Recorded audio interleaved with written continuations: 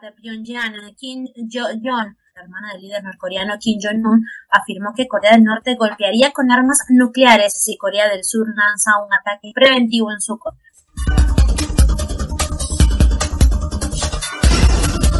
Lima, el presidente peruano Pedro Castillo impuso un toque de queda en la capital del país, buscando contener fuertes protestas en contra de su gobierno en varias regiones del país, generadas por las crecientes eh, costos del combustible y el abono. No obstante lo anterior, miles de personas eh, de todo el país acudieron a la Plaza San Martín de la capital para exigirle en masa la renuncia a Castillo.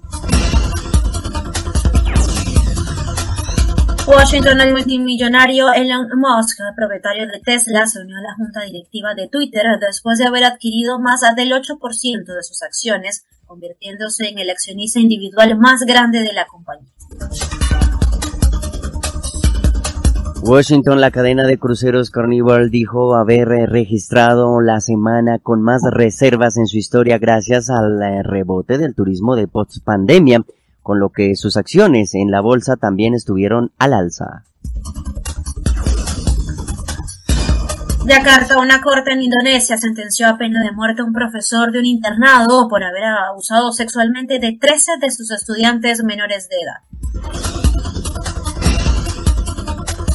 Nueva York, en eh, su discurso virtual ante el Consejo de Seguridad de las Naciones Unidas, el presidente de Ucrania, Volodymyr Zelensky, preguntó si estaban listos para cerrar las Naciones Unidas frente a su falta de acción para prevenir las atrocidades rusas en su país.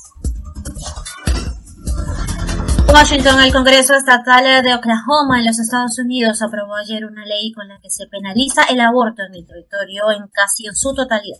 De Nueva York, Wall Street registró una jornada a la baja el día de ayer. El Dow Jones cayó en un 0.80%, el Nasdaq en un 2.26% y el Standard Poor's en 1.26 puntos porcentuales.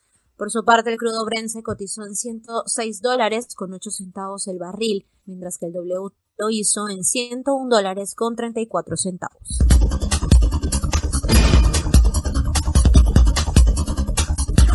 Kiev, en el New York Times publicó una investigación que demuestra que las ejecuciones extrajudiciales cometidas en el suburbio de Bucha, a las afueras de la capital ucraniana, sí fueron perpetradas por tropas rusas y no posteriormente por ucranianos para responsabilizarlos. Según el Times, eh, un análisis de imágenes satelitales tomadas durante la ocupación muestra que los cadáveres ya se encontraban en las calles antes del retiro de las fuerzas de Moscú de la población.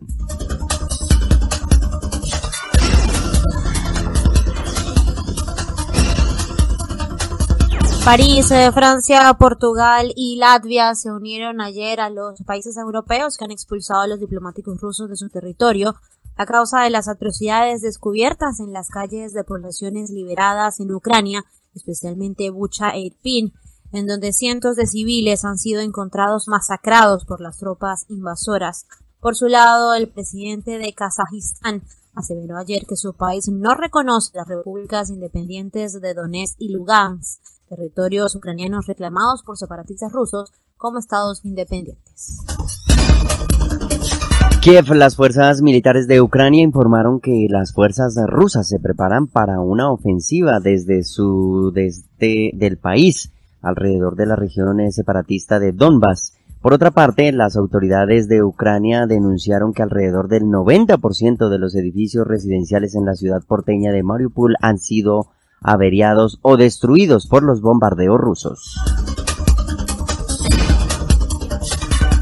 Bruselas, funcionarios de la Unión Europea informaron que propondrán imponer un boicot a la compra de carbón proveniente de Rusia. Nuevas sanciones también impedirían el ingreso de buques rusos a puertos en países del bloque, al igual que transportistas terrestres rusos y bielorrusos a de operar en el territorio. Pekín, las autoridades chinas extendieron la cuarentena absoluta de algunas áreas eh, a la totalidad de la ciudad de Shanghái para cubrir sus 26 millones de habitantes, buscando contener el fuerte brote de la subvariante BA 2 de Omicron eh, que se presenta en la localidad. La decisión fue adoptada después de que las pruebas masivas a toda la población revelaran un incremento a más de 13.000 casos positivos de COVID-19.